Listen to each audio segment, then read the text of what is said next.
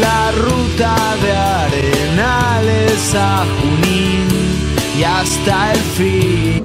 La primera final, el partido de ida en primera división, dialogamos con eh, Gerardo Moff, entrenador de este Belgrano que no nos deja de sorprender. ¿eh? Seguramente que, bueno, como siempre decíamos, ya dejó de ser una, una sorpresa, pero que sigue, no tiene techo. Bueno, Gerardo, eh, buenas tardes, felicitaciones.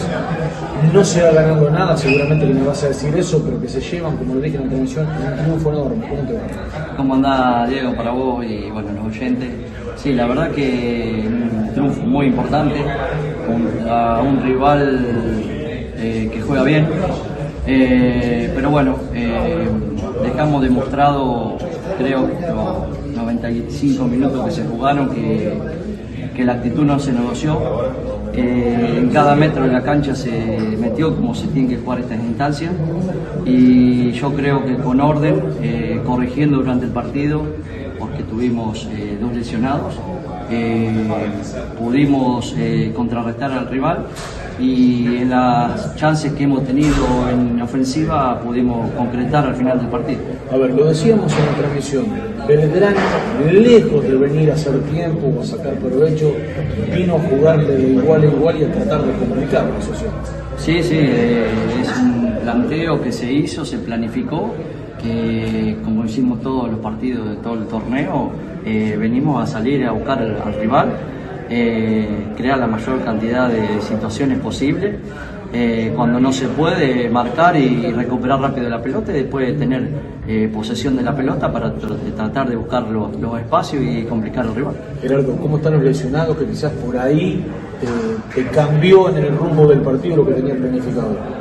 No, fueron una contractura y un golpe en la cabeza de David García que, que ya se está bien, eh, fue a la salita y pero ya se encuentra bien, se va a recuperar en la semana.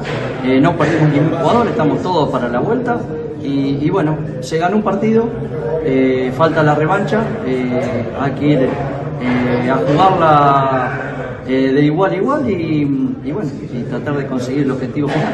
¿Qué le dijiste a Cunha cuando lo mandaste a la cancha? A Stefano le dije que, que vaya y haga lo que, lo que sabe hacer. Eh, yo lo tengo de chiquito, de inferiores, y es un jugador que va muy bien de arriba. Y las chances que se crea a él, eh, la mayoría eh, en un 70% son goles. Seguramente Gerardo y esta es la última. Que hoy, cuando llegues a Arenales, al club, se festeja lo hecho hoy.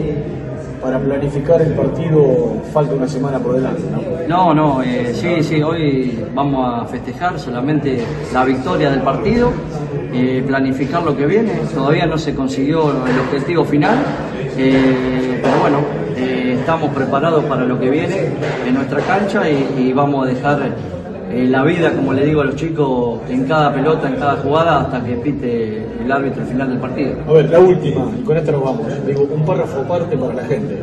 No, eh, más que agradecido.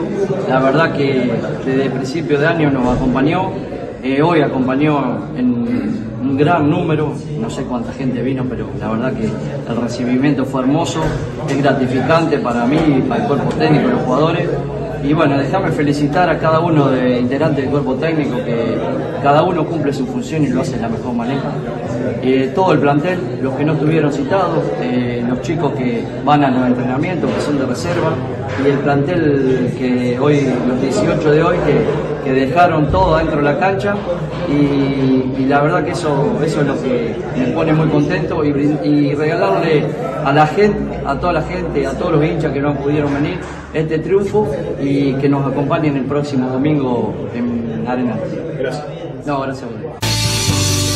El lugar donde nací es la ruta de Arenales a Junín y hasta el fin.